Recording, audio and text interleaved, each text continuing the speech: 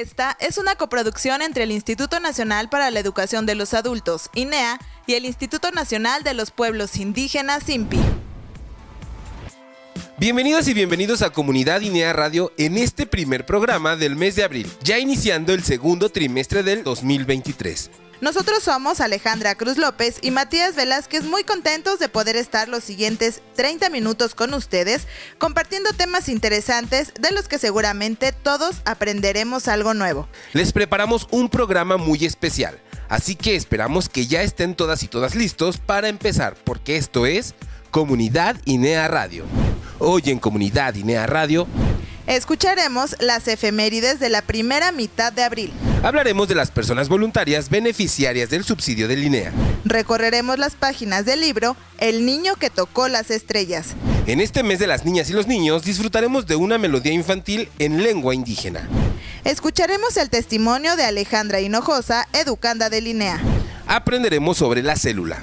Patricio Hipólito nos enseña algunas palabras en lengua mazateca. Y aprenderemos a hacer un rico caldo de gallina. Estos temas tendremos en el programa, así que estén pendientes con una libreta y una pluma o lápiz por si hay algún dato que les interese puedan anotarlo. Para comenzar, recordaremos las fechas importantes de la primera mitad del mes de abril.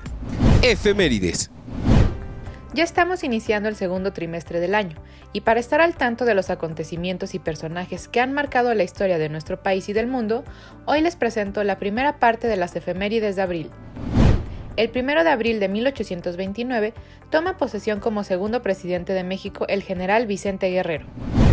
Un día después, el 2 de abril pero de 1787, muere Francisco Javier Clavijero, destacado historiador, filósofo y etnólogo veracruzano, quien dio inicio al movimiento nacionalista mexicano, recuperando la memoria indígena. En esta misma fecha se celebra el Día Internacional del Libro Infantil y Juvenil. 3 de abril de 1921. Nace en Tuxpan, Veracruz, Jesús Reyes Heroles, ideólogo, historiador y político cuya obra escrita orientó de manera importante el discurso político en México, así como la concepción del Estado mexicano y el conocimiento de sus raíces históricas. El 5 de abril de 1956 se inaugura en Ciudad Universitaria la Biblioteca Central de la Universidad Nacional Autónoma de México, uno de los edificios más retratados del mundo entero. Obra de tres arquitectos, Juan O. Gorman, Juan Martínez de Velasco y Gustavo Saavedra. Ese mismo día, pero en 1913, nace Griselda Álvarez, la primera mujer electa gobernadora en el país. Asimismo, en 1997 muere Eberto Castillo Martínez, político, luchador social y destacado ingeniero civil mexicano. El 6 de abril de 1953 se reconocen los derechos políticos de la mujer en México. El 7 de abril de 1997 se inaugura en Zacatecas el primer Congreso Internacional de la Lengua Española, donde se analizaron a profundidad los problemas del uso de la lengua en los medios de comunicación. También se conmemora todos los años el Día Mundial de la Salud. Un día después, el 8 de abril, pero de 1904, muere Enrique Rebsamen, destacado educador mexicano que dejó un amplio legado de reflexiones para la pedagogía de nuestro país. El 9 de abril de 1862 se rompe la alianza tripartita en Veracruz, la cual exigía el pago de la deuda que México había contraído con Inglaterra, Francia y España. 10 de abril de 1789 nace en la Ciudad de México Leona Vicario, precursora y heroína de la independencia de México declarada benemérita y dulcísima madre de la patria, el 25 de agosto de 1842. Este mismo día, pero en 1919, muere asesinado Emiliano Zapata. El 11 de abril de 1861 muere el poeta, crítico de teatro y autor de la letra del himno nacional mexicano Francisco González Bocanegra. El 12 de abril es el Día Internacional de los Niños de la Calle. El 13 de abril de 1875 se funda en la Ciudad de México la Academia Mexicana de la Lengua. 14 de abril de 1931, se celebra por primera vez el Día de las Américas, celebración que tiene como objetivo conmemorar los ideales de paz y hermandad que deben existir entre las naciones para estrechar sus relaciones. En esta misma fecha de 1976, muere el escritor y activista político revolucionario José Revueltas. Por último, el 15 de abril de 1861, Benito Juárez decreta la Ley de Instrucción Pública en el Distrito Federal, la cual marcó un gran avance en el sistema educativo mexicano al establecer la instrucción primaria como obligatoria y gratuita, la creación de la instrucción secundaria para el sexo femenino y el establecimiento de diversas instituciones de educación superior. También el 15 de abril se celebra el Día Mundial del Arte Esta es la primera parte de las efemérides del mes. Les espero pronto para conocer los hechos y personajes que marcaron el rumbo de nuestro mundo. Un mes de abril, pero de otros años. Soy Connie Torres. Sigan escuchando Comunidad INEA Radio. Que tengan un excelente mes de abril. Gracias Connie por mantenernos informados sobre estos sucesos importantes para México y el mundo. Ahora escucharemos a Gris Gómez, quien desde el estado de Tamaulipas nos invita a conocer más sobre la labor de Linea en el ABC de Linea. Bienvenidas y bienvenidos a El ABC de Linea, en donde cada semana tratamos algunos temas que nos ayudan a comprender mejor qué es el Instituto Nacional para la Educación de los Adultos mejor conocido como INEA. Cómo trabaja dentro y fuera del país, qué personas participan en la atención y muchos más que son de utilidad tanto para quienes quieren estudiar como para quienes ya lo están haciendo. En esta ocasión les hablaré sobre las personas voluntarias beneficiarias del subsidio, PBBS, que son aquellas personas que de forma individual y voluntaria contribuyen en la atención educativa que ofrecen los institutos estatales de educación para adultos, unidades de operación y plazas comunitarias en el exterior, brindando sus conocimientos a quienes requieren aprender a leer y escribir o iniciar continuar o concluir la primaria y secundaria. Existen siete figuras educativas que apoyan la labor del INEA. Estas son persona voluntaria beneficiaria del subsidio que apoya como asesor educativo. Facilita y acompaña el aprendizaje de las personas jóvenes y adultas a través de sesiones de atención educativa en círculos de estudio. Persona voluntaria beneficiaria del subsidio que apoya la formación. Apoya la realización de talleres de formación para dotar a las PBBS de las herramientas conocimientos y técnicas didácticas para brindar los servicios. Persona voluntaria beneficiaria del subsidio que apoya en la elaboración de materiales para la atención de grupos prioritarios. Persona que habla, lee y escribe tanto en español como en alguna lengua indígena, o que cuenta con conocimientos para la adaptación de materiales para la atención adecuada y pertinente de personas con discapacidad. Persona voluntaria beneficiaria del subsidio que apoya en la aplicación de exámenes. Apoya a los institutos estatales y las unidades de operación en la aplicación de exámenes en un lugar, fecha y hora designado para ello Persona voluntaria beneficiaria del subsidio que apoya en los procesos de control, acreditación escolar y verificación. Apoya directamente en coordinación de zona asignada en actividades como el registro de personas educandas y la integración de su expediente digital, planeación y programación de eventos de aplicación de exámenes, captura e integración de calificaciones, entre otras. Persona voluntaria beneficiaria del subsidio que apoya como operativo territorial. Realiza tareas y actividades directamente en la coordinación de zona asignada, realizando actividades como promover, incorporar y dar seguimiento de personas beneficiarias y dar seguimiento de servicios educativos, logísticos, acreditación, vincular y dar seguimiento de los acuerdos establecidos en las alianzas nacionales. Detectar, incorporar, orientar, atender y dar seguimiento a las personas beneficiarias del programa en condición de conacionales retornados, migrantes, refugiados, entre otras. Y persona voluntaria beneficiaria del subsidio que apoya a los servicios educativos en plaza comunitaria, coadyuva y apoya para la atención de personas educandas en las plazas comunitarias. La participación de mujeres y hombres se realiza en igualdad de condiciones, oportunidades y respeto a los derechos humanos. Es importante que las personas tengan muy claro que la participación de las personas es de carácter solidario y voluntario, por lo que no se genera ninguna relación de tipo laboral ni compromisos contractuales con el INEA. Lo bueno de enseñar es que tú también aprendes. La educación transforma. Soy Gris Gómez. Les espero pronto con más de Linea. Muchas gracias Gris. Recordemos que además de participar como personas voluntarias beneficiarias del subsidio, también pueden participar únicamente como personas voluntarias. Les invitamos a que se acerquen a Linea al Instituto Estatal o Unidad de Operación de su estado Vamos a escuchar una invitación que nos envió una persona educanda en su lengua materna. Apa México, IQ tik 364 kumal tik aniwan chona iltik washgea tik sokhasta lotik hakeni wala kumaniyon tohol abal nebas kumahel soksih bahel habawa kumali hainea waskoltaya skakwil basutan alsat kinal habahtan kumali Yukawalakumaniteka kumaltiki miuchayuk. Ayuk tzamalhakaltziltiki yukawalakumanitik jatohol abali. Skakuil pasutan alsat kinal abahtan kumali. Hastar kena obobaneps kumahel soxtzihpahel hakumaltiki. Hobo yabalil jainea skakuil pasutan alsat kinal abahtan kumali.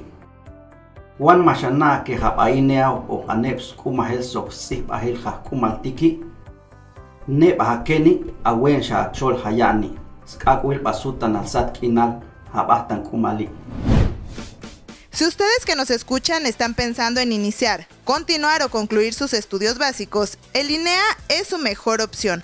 Tomen nota de nuestras redes sociales para que conozcan más sobre nosotros y nuestros servicios educativos. En Facebook y en YouTube nos encuentran como INEA Nacional. En Twitter nuestra cuenta es arroba INEAMX y en Instagram nos encuentran como INEA-MX.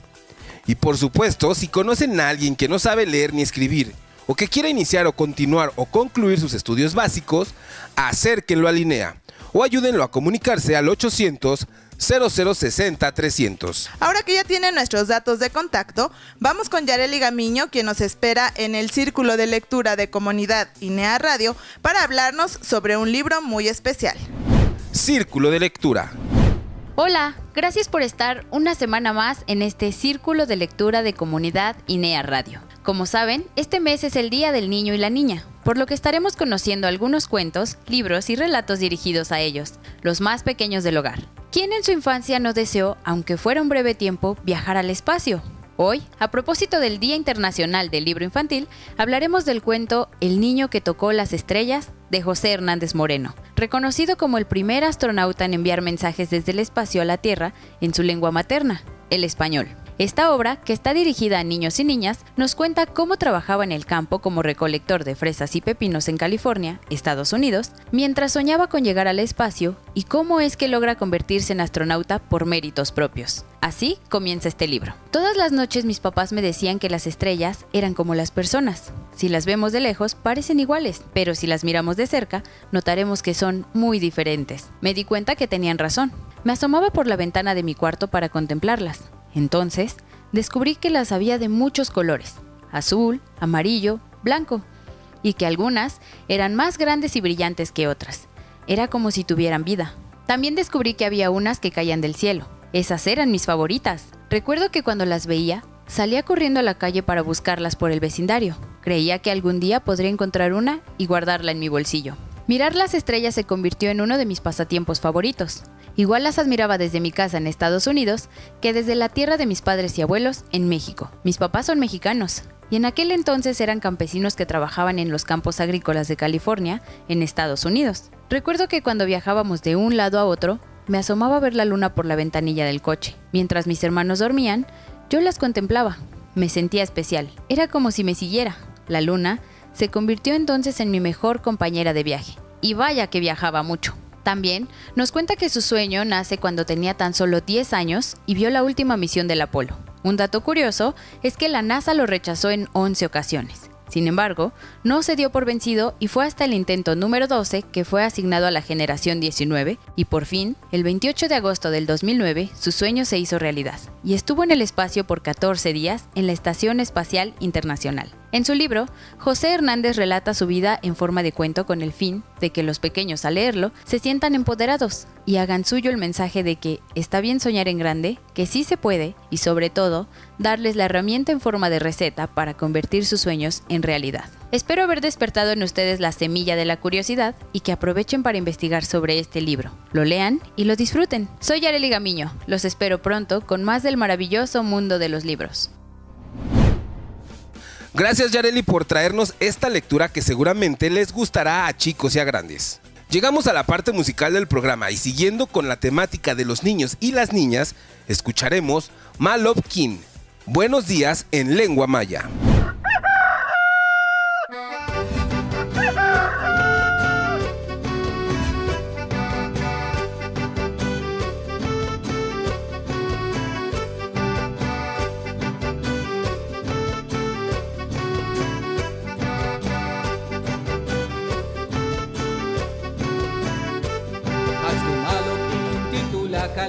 Achtumalokin Bashkawalikesh Achtumalokin Tikulakalesh Achtumalokin Yantukambalesh Achtumalokin Tikulakalesh Achtumalokin Bashkawalikesh Achtumalokin Tikulakalesh Achtumalokin Yantukambalesh Yankanik uitam Yankanik eshok Yankanik eshtrib Waitunahim sok, jakani kuitam, yakani ke sok, jakani ke strip, wajuna hil sok.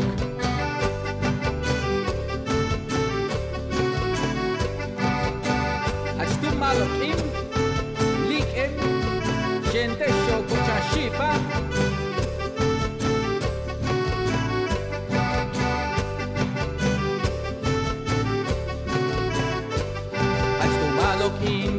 lakalesh, hastu malokin, bashkawalikesh, hastu malokin, titu lakalesh, hastu malokin, yantu kambalesh, hastu malokin, titu lakalesh, hastu malokin, bashka bashkawalikesh, hastu malokin, titu lakalesh, hastu malokin, yantu kambalesh,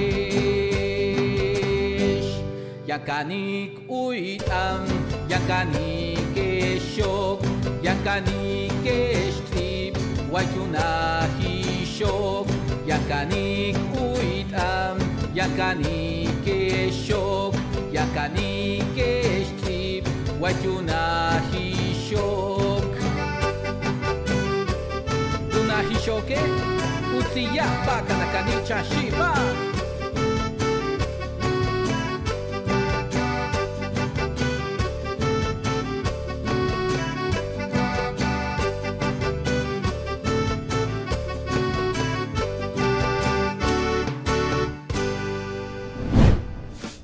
Ya estamos de regreso después de escuchar esta melodía cuyo nombre, Malop King, es una forma de decir buenos días. Sin embargo, este saludo en maya se usa comúnmente en el ámbito escolar. No es un saludo que se use comúnmente en el maya popular. Ahora escucharemos a Alejandra Hinojosa, quien estudia la secundaria en el INEA y nos platicó cómo ha sido su experiencia como educanda del INEA en Michoacán. Ella quiso escribir y luego leer su testimonio, así que vamos a escucharla. Habla Alejandra Hinojosa Cristóbal, persona educanda de la INEA. Tengo 28 años, nivel secundaria de la, Soledad, municipio de Tuxpan. De pequeña no, no tuve oportunidad de estudiar. Traba- trabajaba en el campo ayudando a mis papás para poder salir con mis gastos de la casa y ayudar a cuidar a mis hermanos.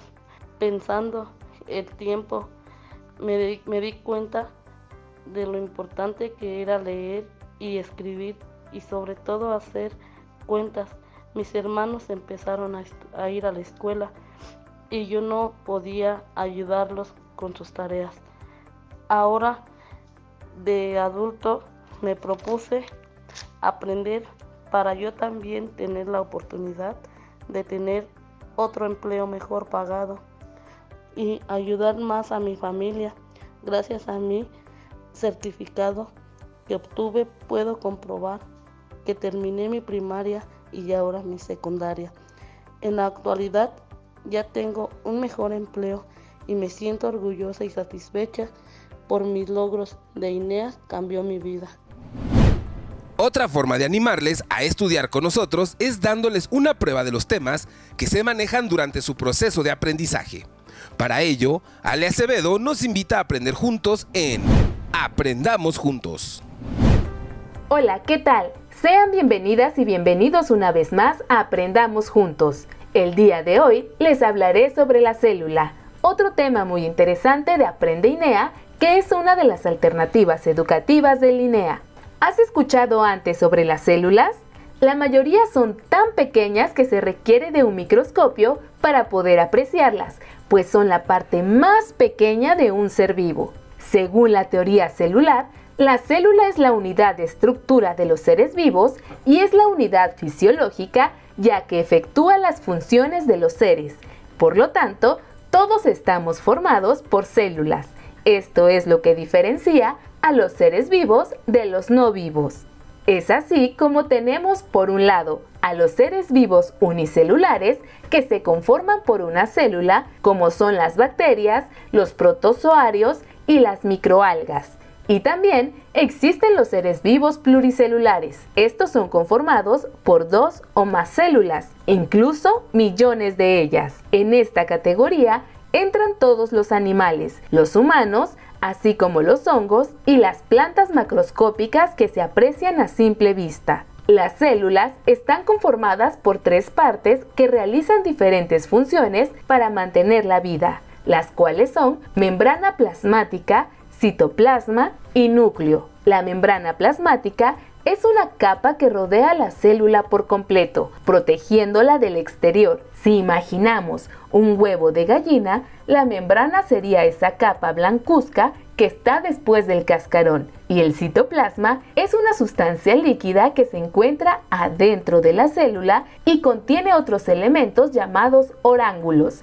En un huevo de gallina sería el equivalente a la clara. Existen dos tipos de células, procariotas y eucariotas. Las células procariotas no tienen un núcleo definido, lo que significa que su material hereditario se encuentra disperso en el citoplasma. Los organismos que se agrupan en esta categoría son las bacterias y las arqueas, que son seres microscópicos unicelulares muy antiguos, las primeras formas de vida en el planeta. En cambio, las células eucariotas son células en donde existe un núcleo bien definido por membranas y el material hereditario se encuentra al interior organizado en cromosomas. La mayoría de estos organismos son pluricelulares, como las plantas, hongos y animales. Los seres humanos estamos formados por células de tipo eucariota, y animal. Contamos con alrededor de 200 tipos de células diferentes, las cuales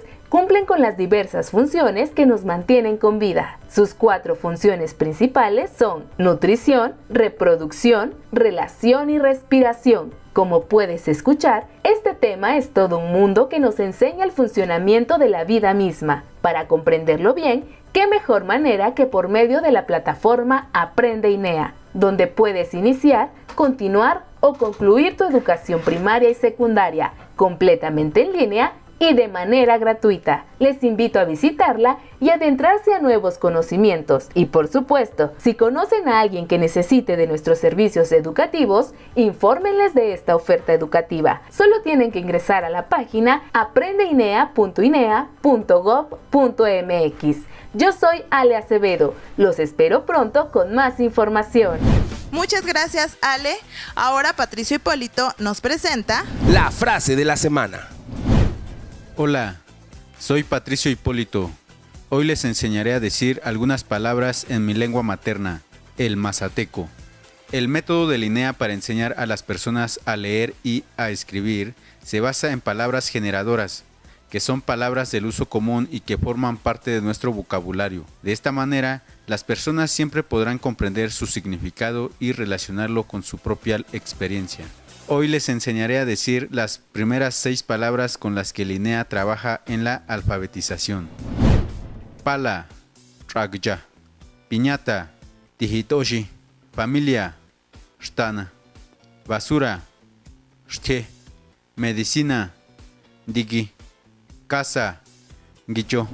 Los espero pronto con más de mi lengua materna. Gracias Patrick. Para despedirnos nos adentraremos a la cocina de Comunidad INEA Radio con Patti Tirado, quien nos trae una rica receta que envió una educanda de Linea. El sabor de mi pueblo. ¿Qué tal amigas y amigos? Bienvenidos a la sección culinaria de Comunidad INEA Radio, en donde ustedes son los protagonistas de esas deliciosas recetas. En esta ocasión, Micaela Pérez Aguilar, quien estudia la secundaria en el municipio de Lázaro Cárdenas en Chiapas, nos hizo favor de enviarnos su receta para preparar un rico caldo de gallina. Así que conoceremos los ingredientes que necesitaremos si queremos hacer una cantidad para cinco personas aproximadamente. Una gallina entera limpia, sin plumas, un manojito de cilantro, uno o dos puerros o poros medianos, un puñito de albahaca, una cucharada de achote, tres chayotes, cuatro papas, seis litros de agua y sal al gusto. Procedimiento. Comenzaremos por cortar la gallina en piezas y ponerlas a cocer en los 6 litros de agua. Pelamos los chayotes y cortamos por la mitad junto con las papas y reservamos. Cuando las piezas de la gallina hayan hervido por unos 60 minutos, se le colocan los chayotes y se deja hervir por unos 10 minutos más. Posteriormente se agregan las papas y esperamos otros 10 minutos, colocamos sal al gusto y la cucharada de achiote para que tenga color. Cuando la carne esté bien suave, agregamos el ramito de cilantro, el puerro o poro, la albahaca y retiramos el caldo del fuego para que conserve sus aromas. Micaela nos envió dos recomendaciones importantes que debemos tomar en cuenta a la hora de preparar este platillo. La primera es que estemos conscientes de que la cocción de la gallina nos llevará un mínimo de hora y media. Y también nos escribió que el caldo de gallina se acompaña muy bien de un arroz blanco o de color que puedan disfrutar antes del caldo o agregarlo a este y le dará un gran sabor. Esta receta hizo que se nos abriera el apetito, así que les invito a prepararla y compartirnos en redes sociales las fotos de sus creaciones. Yo soy Patti Tirado y les espero la próxima semana con más recetas de nuestro México aquí, en el sabor de mi pueblo. Muchas gracias Patti, una receta muy tradicional y casera de nuestro país. Ahora sí llegamos al final de esta emisión.